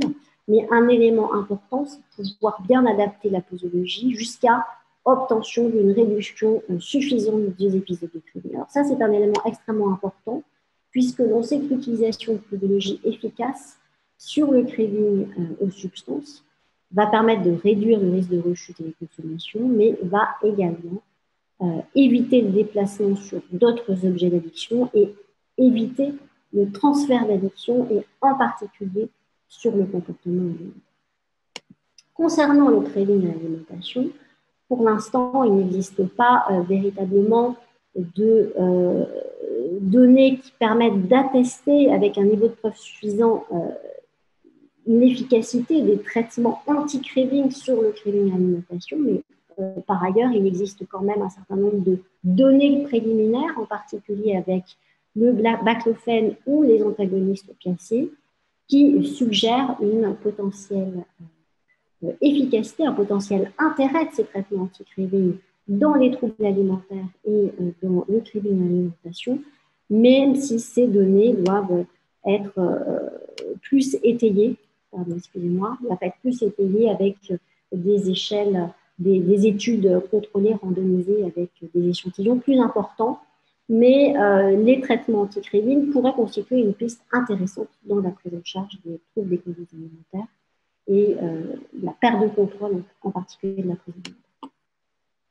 Voilà, alors pour, pour finir, hein, euh, le craving à l'alimentation dans les TCA, euh, va finalement pouvoir bénéficier des approches psychothérapiques classiques centrées sur le craving, qui intègrent des données de psychoéducation, c'est-à-dire que vraiment accompagner le patient à identifier ces épisodes de craving, comprendre ces épisodes, leur évolution et leur déclencheur, et ensuite à pouvoir accompagner le patient à mieux les repérer en vie quotidienne et à bien distinguer euh, ce qui relève du craving à l'alimentation de ce qui relève des signaux de faim et de satiété, donc avec des carnets d'auto-observation et une identification des déclencheurs pour pouvoir ensuite développer des stratégies de régulation, euh, en particulier d'identifier, mieux contrôler les stimuli développer des stratégies alternatives. Un mot sur euh, les approches de pleine conscience qui ont été pas mal étudié dans le champ des addictions aux substances et dans le champ euh, des troubles des conduites alimentaires et des crimes à l'alimentation. Donc, ces approches sont basées sur l'acceptation de l'expérience, euh, sans avoir d'action directe sur les pensées ou le comportement, et pourrait avoir un effet dans, intéressant, une utilité dans la gestion du craving et permettre également aux patients finalement de mieux identifier leurs signaux internes et de mieux identifier donc les euh, signaux de faim et euh, de satiété. Et pour finir, c'est un autre pan effectivement qui est important de la prise en charge, c'est de bien travailler sur le repérage et la prise de conscience des sensations alimentaires. Travailler, comme on l'a vu, sur les stratégies de régulation émotionnelle et bannir les interdits alimentaires et les restrictions qui vont favoriser les biotiques, puisqu'on sait par exemple que l'éviction totale de tout goût sucré dans l'alimentation, par exemple, la restriction totale de certains aliments vont euh, favoriser les pertes de contrôle de la prise alimentaire, voire le maintien de crédit. Alors pour finir cette, euh, cette présentation, euh, finalement quelques messages clés. Donc on a vu qu'il existait un continuum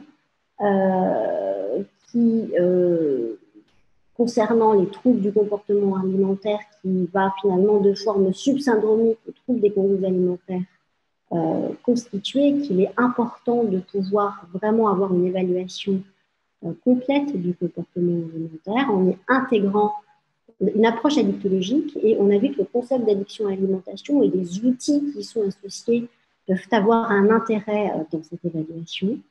Et enfin, l'importance en pratique clinique finalement de repérer cette dimension addictive, de repérer le craving et de pouvoir le prendre en charge pour éviter le transfert d'addiction, que ce soit sur une substance ou sur un comportement.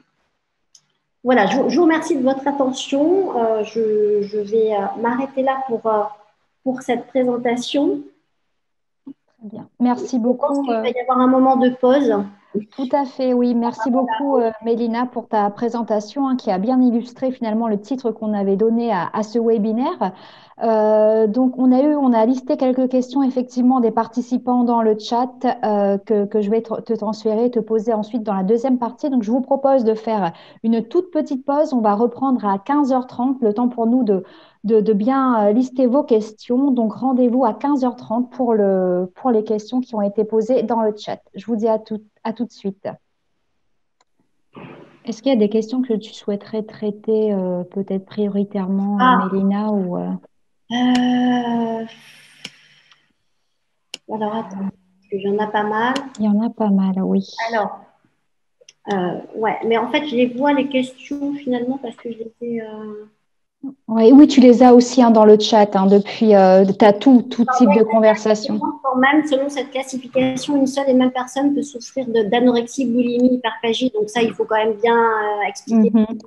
Mm -hmm. Ça, je vais le dire.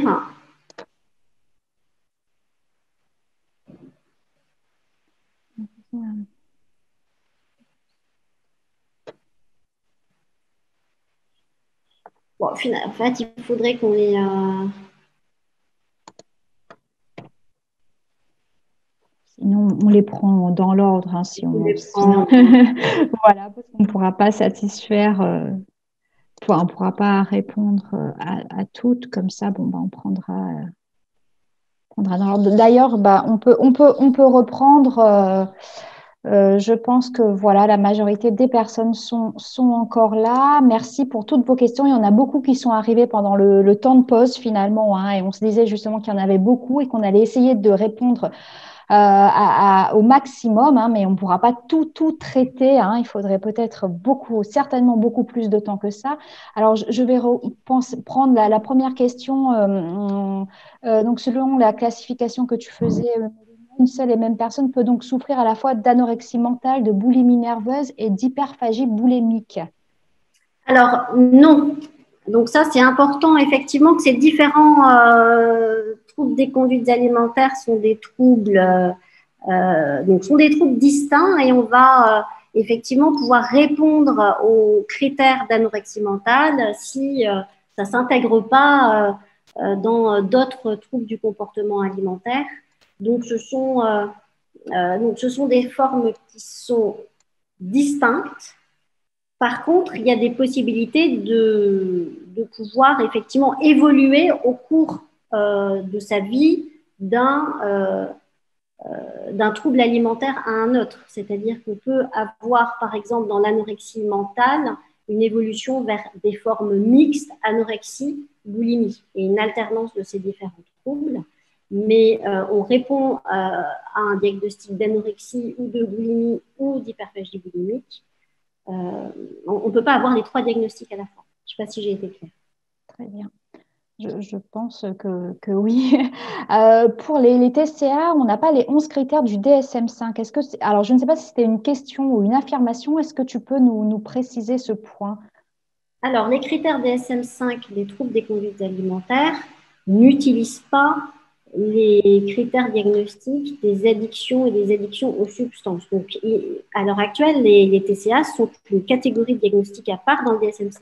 En revanche, euh, l'équipe d'Acheté Gerhardt a développé une échelle d'addiction à l'alimentation, qui est l'échelle IFAS, qui reprend les euh, critères diagnostiques de l'addiction aux substances appliqués au champ du comportement alimentaire. Donc, on va retrouver les critères d'addiction dans l'échelle IFAS et pas dans les critères DSM-5.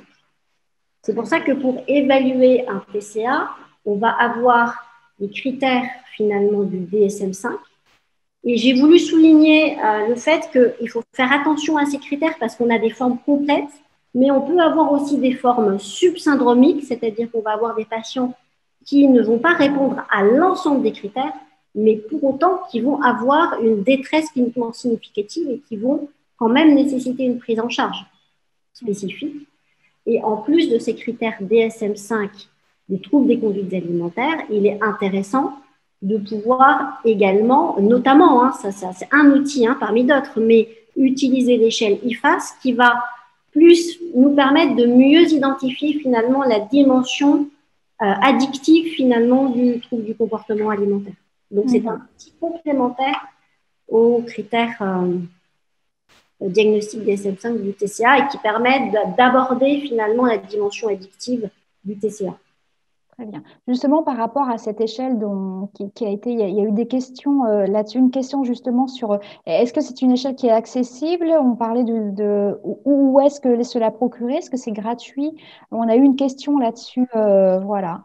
Oui, oui. Sur un 13 items au lieu de 35. C'est totalement accessible. Donc, effectivement, il existe une échelle, l'échelle IFAS avec les critères du DSM-5 et une échelle plus brève euh, plus courte en fait, qui a été euh, récemment validée, qui est aussi euh, également disponible. Donc elle est, elle est disponible facilement sur, sur Internet ou bien nous pouvons vous la, enfin ceux qui, qui peuvent, ceux qui, qui veulent s'approprier, on, on, peut, on peut la voir, enfin on l'a dans, dans le pôle, on peut vous la, vous la transférer par mail ou bien l'équipe de Paul Bruno qui a validé la version française à la fois de la version, la version à 35 items et la version euh, courte. Mais elle est facile à implémenter dans les, euh, dans les, dans les centres de soins, dans les structures de soins. Hmm, d'accord. Euh, une autre question, qu'en est-il pour l'anorexie chez les sujets qui, au contraire, sont dans un contrôle excessif Est-elle considérée comme une food addiction Alors, c'était effectivement justement, autant on peut effectivement facilement se représenter le concept d'addiction finalement appliqué au comportement de, binge, c'est-à-dire euh, sur le versant plutôt euh, boulimie et hyperphagie boulimique, puisqu'on on comprend tout à fait très bien la notion de, perte de contrôle euh, finalement de la prise alimentaire et de l'aspect renforçant hédonique et également de, soulagement finalement de la prise alimentaire.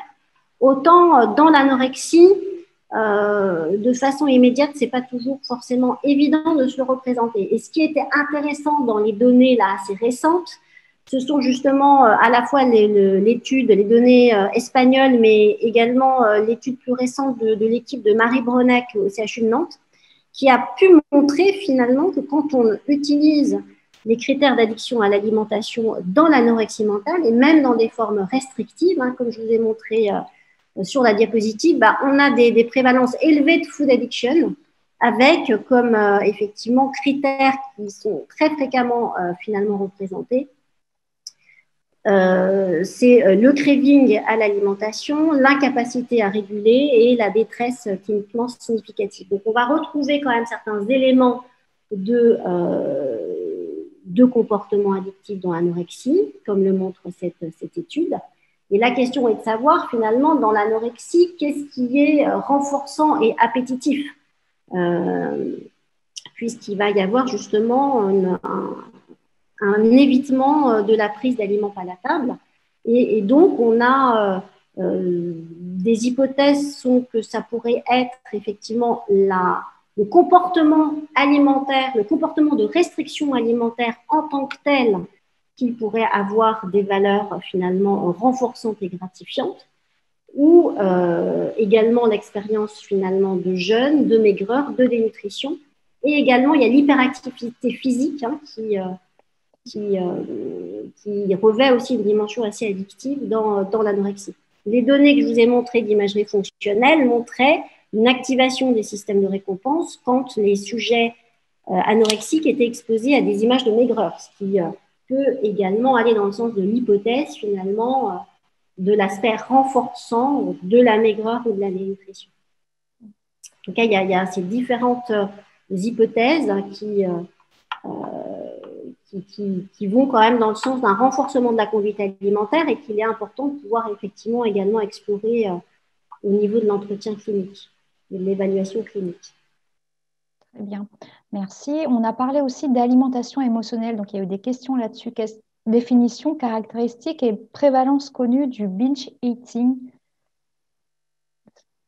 Alors, l'alimentation émotionnelle, c'est donc justement le fait d'utiliser l'alimentation, euh, non pas pour répondre à des, signaux de faim et de satiété, mais euh, mais plutôt euh, pour la valeur justement de régulation émotionnelle et de régulation des, des affects, de régulation du stress. C'est-à-dire que la prise alimentaire va être déclenchée dans une volonté de soulager finalement des émotions, plutôt des émotions négatives ou de permettre de réguler le stress, donc indépendamment de l'existence et en dehors de, de situations de, de faim. Et cette dimension émotionnelle de l'alimentation, qui n'est pas une pathologie en soi, hein, c'est un, ce serait une caractéristique de, la prise alimentaire, elle est associée à, euh, à une attirance plus importante pour les aliments palatables, c'est-à-dire que l'alimentation émotionnelle, ça va être plutôt des aliments gras et sucré. Hein. Le premier modèle d'alimentation émotionnelle, il a été développé avec, euh, avec le chocolat. Hein. Euh, et c'est un marqueur de, plutôt d'indice de, de, vulnérabilité au niveau de la santé mentale. C'est associé à plus de dépression. Et c'est un facteur qui est associé à la prise de poids.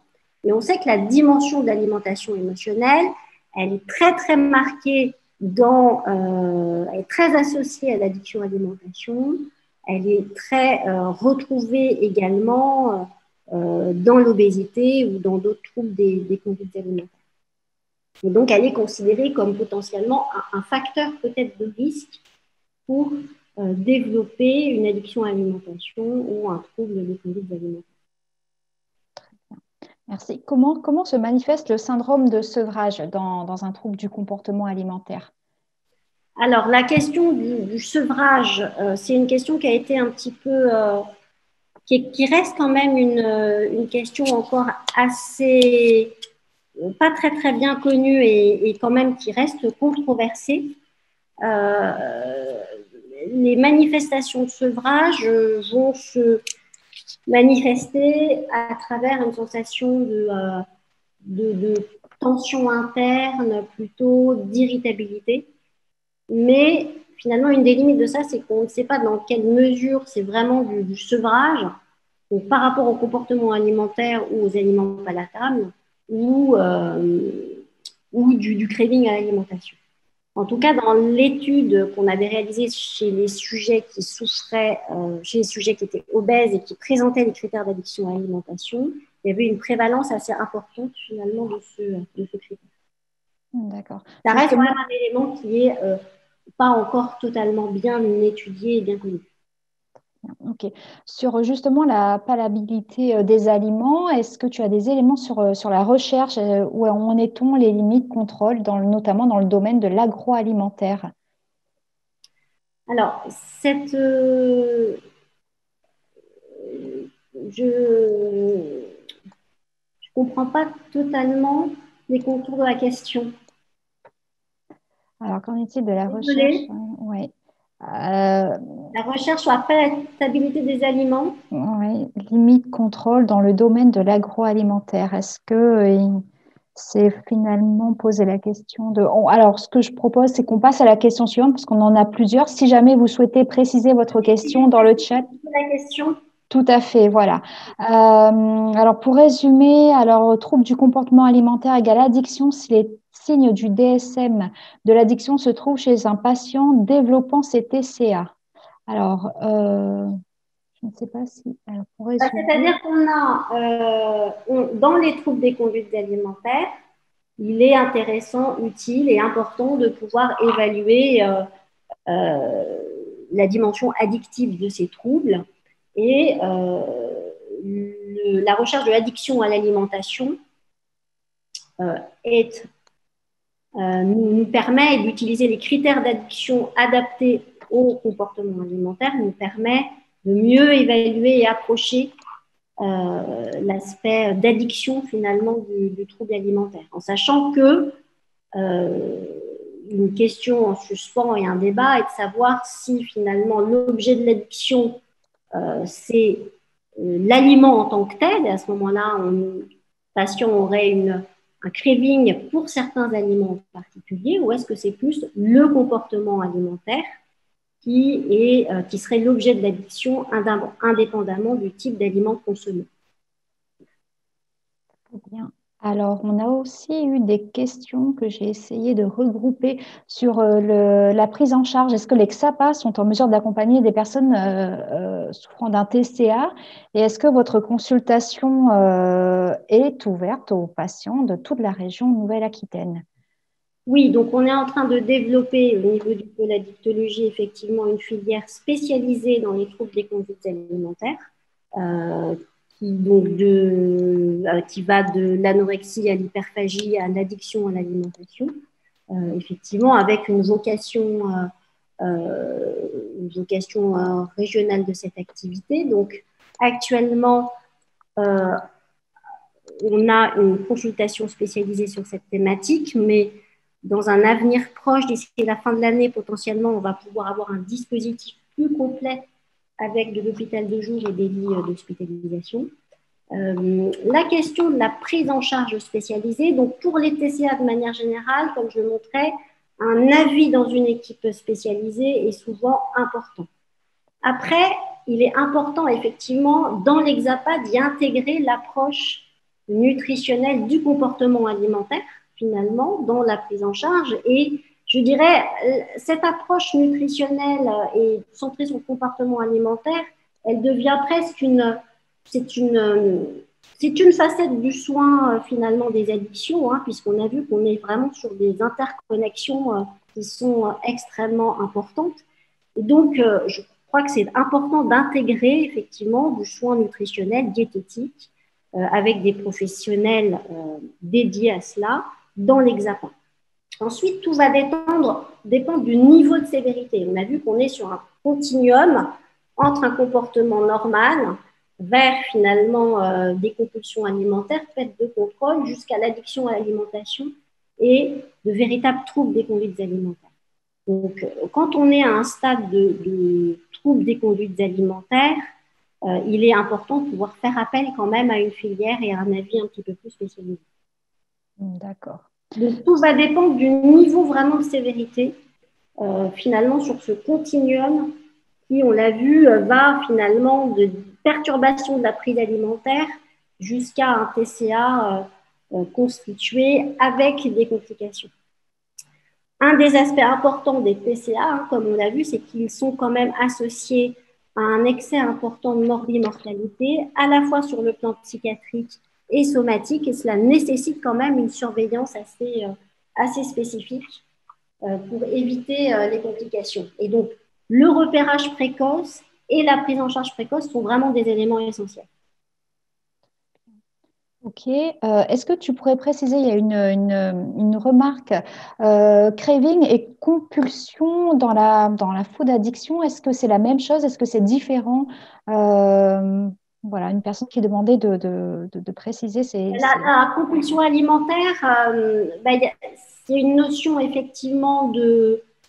La compulsion, c'est une, une perte de contrôle de, de la, autour de la prise alimentaire, donc c'est une expérience de perte de contrôle qui est souvent sous-tendue par du craving à l'alimentation, euh, c'est-à-dire une envie irrépressible, incontrôlable euh, d'utiliser l'objet d'addiction et de, autour de la prise alimentaire. Donc ce sont deux choses différentes mais qui sont intimement liées.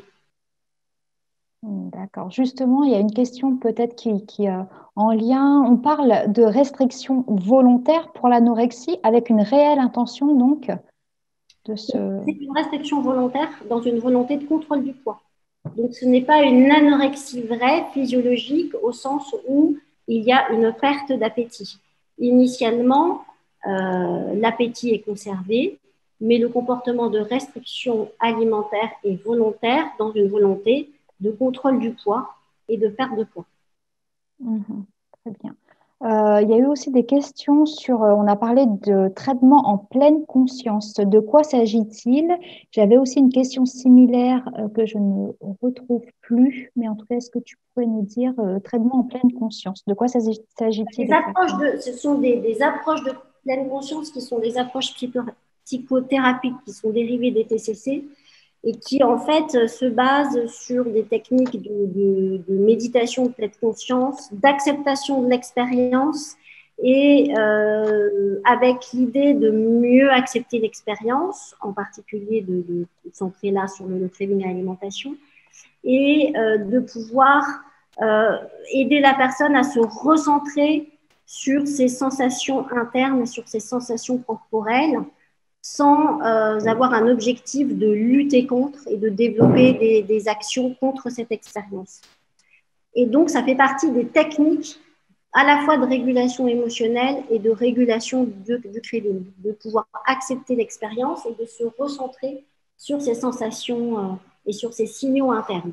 On a vu qu'une des caractéristiques un petit peu des TCA dans leur ensemble, très marquée aussi dans l'addiction à l'alimentation, c'est la grande difficulté, voire l'incapacité, en fait, des personnes à repérer les signaux internes de faim et de satiété. Et ça, c'est très associé à l'alimentation émotionnelle, puisque la prise alimentaire va être plus motivée par euh, une volonté de réguler les émotions ou de répondre à du craving, plus qu'à ces signaux internes qui, comme on l'a vu, sont finalement euh, extrêmement perturbé et ne fonctionne plus très bien. Est-ce que c'est, euh, ce sont des programmes que vous utilisez dans, dans, dans l'équipe euh, dans... Des programmes qu'on va effectivement développer. On est en train de D'accord. Euh, notre question, on a encore 10 minutes. Est-il possible d'aborder le, d'aborder, pardon, le transfert d'addiction euh, du TCA vers l'alcool ou autre substance en post-chirurgie bariatrique? Oui, alors ça, c'est une question importante puisque euh, une hypothèse, effectivement, enfin, une une, observation qui, a été faite, c'est que sujets, certains sujets souffrant d'obésité et bénéficiant d'une chirurgie bariatrique pourraient développer, euh, après la chirurgie bariatrique, finalement des addictions aux substances.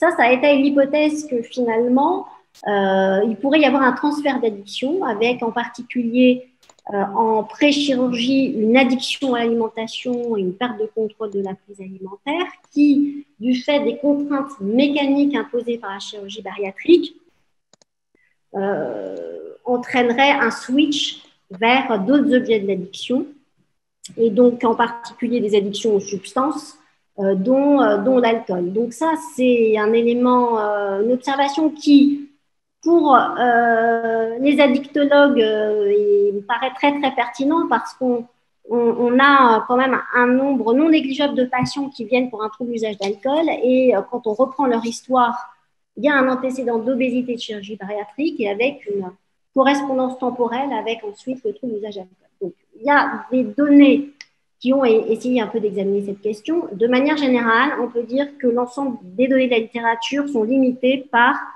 par des limites méthodologiques. On n'a pas suffisamment d'études prospectives sur de la durée, on n'a pas suffisamment d'outils pour évaluer les différents euh, types d'addiction et l'addiction à l'alimentation.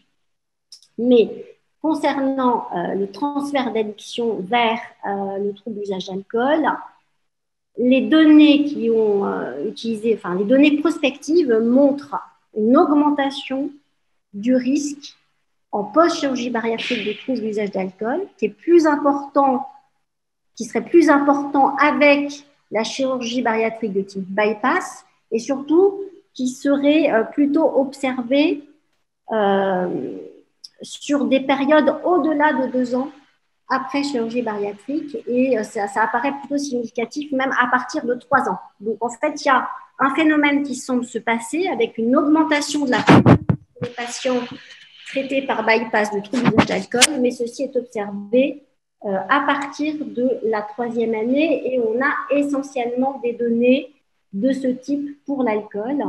Euh, et très très peu sur d'autres substances. Et ce qui nous manque aussi, c'est que finalement, il y a très peu d'études qui euh, ont euh, fait la corrélation avec le diagnostic d'addiction à l'alimentation après, avant et après chirurgie bariatrique. Il y, a, des données, une étude récente là, qui a examiné un peu tout ça, qui ne montrait pas de lien, mais cette étude était encore limitée par la durée euh, d'évaluation prospective post-chirurgie qui peut-être était encore insuffisante. Donc, euh, Ok. Euh, une autre question, quel est le niveau d'utilité, d'utilisation, entre guillemets, des, patients experts dans la prise en charge des, des troubles du comportement alimentaire, groupe de parole, groupe d'entraide? Est-ce qu'on a des éléments là-dessus? Alors, j'ai pas de, j'ai pas énormément d'éléments. Alors, c'est probablement euh, utile et intéressant, mais pour l'instant, on est dans une, euh, dans un constat et dans une situation d'insuffisance euh, totale de, de l'offre d'offres spécialisées dans le champ de la prise en charge des troubles des conduites alimentaires. Alors, chez l'adolescent, mais encore plus chez l'adulte. Et donc, une des, des priorités pour l'instant, c'est de pouvoir développer cette offre avec euh, deux dispositifs spécialisés. Et effectivement, euh, je crois qu'au fur et à mesure de, de, la construction de ces dispositifs, euh, il sera intéressant d'y intégrer les groupes de parole, d'entraide, les patients experts dans cette réflexion. c'est probablement effectivement un, aspect qui sera important de développer euh, mais je pense que ça reste dans le champ des euh, à ma connaissance, hein, pas, pas, très très développé euh, jusqu'à maintenant. Hmm, d'accord. au niveau pharmaco, est-ce qu'on a des résultats ou des données sur le donépésil et le L-DOPA? Alors, j'espère que je prononce bien parce que je, je, ne connais pas ces médicaments, mais est-ce que tu as des, des, des éléments là-dessus? Je n'ai pas d'éléments, donc je ne peux, pas répondre à j'ai pas, pas ma connaissance, mais euh, je ne suis pas absolument certaine. En tout cas, à l'heure actuelle, on n'a pas de, données, euh, des, niveaux de preuve suffisants pour, euh, pour vraiment tester,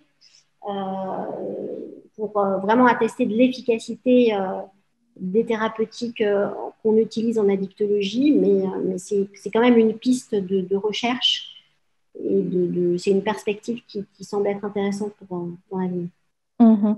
Et une dernière question peut-être pour euh, clôturer euh, ce, temps d'échange. On, on a parlé de développer l'offre, l'offre justement spécialisée autour de la prise en charge des TCA. Est-ce que euh, la question est celle-ci? Envisagez-vous de créer du lien réseau ville-hôpital avec des diététiciens libéraux formés au TCA Oui, le projet de la filière TCA, c'est un dispositif spécialisé et c'est le lien ville-hôpital et la structuration d'un réseau de villes qui implique euh, les médecins généralistes et, euh, et bien sûr tous les autres professionnels qui sont impliqués dans la prise en charge, en particulier les diététiciennes, les médecins nutritionnistes, les psychologues.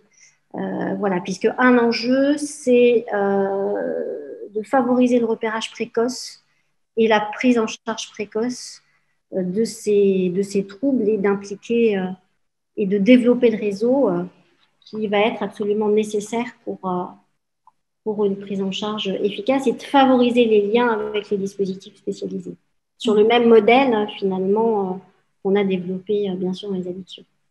Tout fait. Alors, il nous reste trois minutes. Peut-être une dernière question, c'est la dernière que, j'ai notée. Euh, à quel âge, pour vous, arrivent les cas précoces des euh, symptômes de, TCA Des cas précoces de, ces symptômes, oui. De, des troubles Oui. C'est les formes prépubères. Et en particulier dans, l'anorexie. Pour l'anorexie, c'est la 50% arrivent avant 18 ans. La boulimie, c'est entre plutôt 16-20 ans, donc avec des pics pour euh, l'anorexie entre 14 et puis 17 ans. Mais les formes les plus précoces sont des formes euh, prépubères qui nécessitent vraiment euh, des prises en charge très spécifiques. Donc, c'est des formes plutôt de l'enfant et pas de l'adolescent, et avec des, prises en charge un petit peu plus, plus spécifiques. Bien. Alors, je crois qu'on a fait le, tour des, questions et puis il est il est l'heure également. En tout cas, merci beaucoup, euh, Mélina, pour ta présentation. Il y a beaucoup de, messages en ce sens dans, dans le chat. Euh, la vidéo a été enregistrée, hein, elle sera mise en ligne sur, sur notre site internet. Vous aurez aussi un questionnaire de, satisfaction à, remplir euh, qui pourra aussi euh, beaucoup nous aider. Euh, voilà, on a eu beaucoup, beaucoup de questions, un échange très, très riche. merci, merci à tous les participants, à l'intervenant. Merci encore, Mélina, pour, pour ce temps. Et puis, euh, bah, bonne, bonne fin d'après-midi à tous et à bientôt pour le prochain euh, webinaire de, de la Coréade sur, sur les addictions. Merci à tous. À bientôt. Au revoir. Au revoir.